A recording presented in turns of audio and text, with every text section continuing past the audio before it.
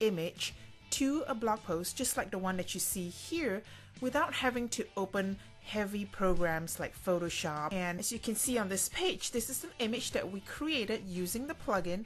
And all of this is just a quote that will accompany uh, the message or the po blog post that we're writing about to make it stronger. And, and because the image is in the blog post when it gets shared it has a tendency to get picked up. And we all know that images tend to be shared a whole lot more on uh, social media than plain text. So let's take a look at how this plugin works. We're going to go uh, into the dashboard right now. And I have the plugin already installed. And once it's installed, we will have a new link here under settings called Instant Social Image. On the screen, you will be able to set up the defaults that you want. Now don't worry, these are just defaults so that you can get creating images very quickly without having to think about any other option. Now these settings can be overwritten when you create an image. So these are the settings that I have set up. Uh, the plugin comes with four images that uh, background images that you can use. Of course, you can upload your very own as the main image. Now, uh, I have already uploaded some in the past, so let me take very quickly show you if I save changes. Then this image will always be used uh, when I create an image. Now I don't want to use that right now so I'm just going to go ahead and remove it and save changes. So to create an image all I need to do is just go to all posts and let's say I want to create uh, an image for this post course you can do it on pages as well and you can do this on brand new posts. It doesn't have to be a post that you you edit. And first thing I need to do is just place my cursor where I want it to and click on this button create social image. Now I want to show you how quickly to create an image. That's why I'm not going to go through all these settings again. And I'm basically going to paste a quote right here. Now this quote is not from the blog post. It would be more effective if you have written a blog post and you pick out key uh, items that you want to quote and put it in here to make an image. But just to show you, I'm just going to very quickly create image right now.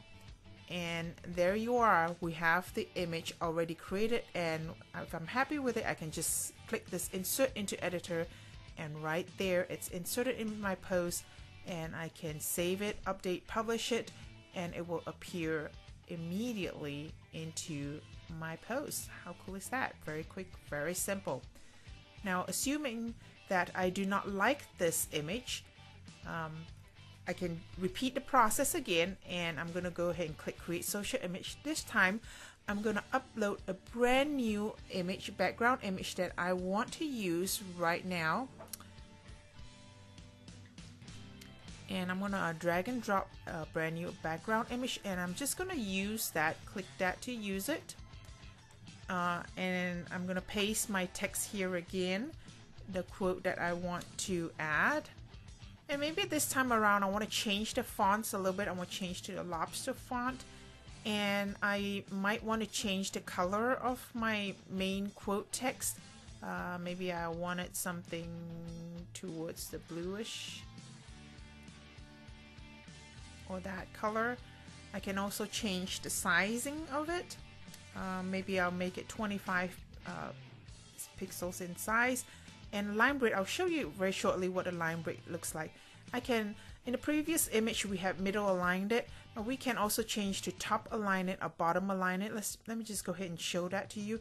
And the branding, by default, this will pick up your domain name of the site that you install the plugin in but maybe right now I do not want to have a domain name. I will just want to put my name in it. And I'll leave the branding text options as it is and I can also align it differently. So let me create this image to show you how it looks like. And there you are. Very nice image. Now sometimes as you can see here my quote here is pretty long and I do want the text here to stretch a little further, what I can do is I go ahead and click delete image and all the settings from before have been saved. And what I'm going to do is I'm going to make the line break uh, at 35 characters. So I'll click create image and now the text is actually stretched further across the uh, image uh, making better use of this image. And of course if you're still not happy with this image you can go back and click delete image and maybe you can play around with making this one a little larger and bringing down the uh, line break to uh, 30 you can keep playing around with it uh, bottom line this time and uh, maybe we'll change this one over to something uh, light like that.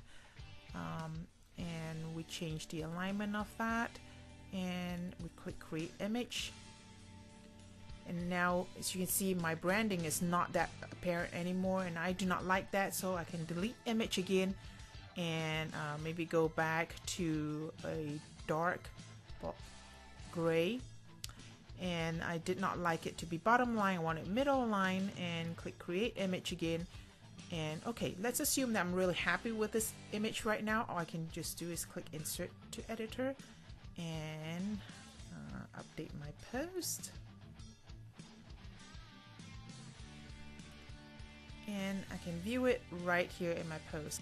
The nice thing about this plugin also is that all the images that you create using it is available in your media library. So if you ever feel that you want to reuse these images, this is the image that I just created, this is the image that I created before that, and these are all the images I had created before uh, this demo video.